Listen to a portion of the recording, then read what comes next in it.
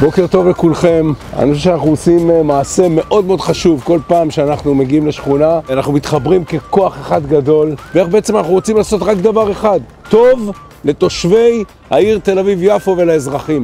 שיהיה לנו רק טוב, בשורות טובות ובריאות טובה.